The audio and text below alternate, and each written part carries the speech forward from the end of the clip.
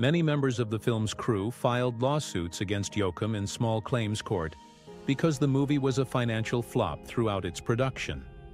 In addition, Yoakam terminated Pete Anderson's membership in his touring band in the year 2002 in order to make up for the financial losses that were incurred as a result of this film. Despite the fact that he admired the individual songs and the fact that they featured contributors such as Bekka Bramlett, Mick Jagger, and Billy Gibbons, Zach Johnson of AllMusic criticized the soundtrack for having bits of film dialogue in between tracks.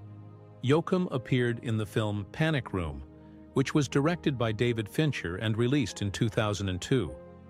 As a result of the fact that both roles were fragmented and required repetition of performance, he stated to the Associated Press prior to the premiere of the film that he did not consider acting to be considerably different from recording music. Bandidas, The Three Burials of Melquiades, Estrada, and Wedding Crashers were some of the films in which he had appearances in the years 2005 and 2006. In the second season of the science fiction series Under the Dome, which first aired on CBS in 2014, Yoakam appeared in a recurring role.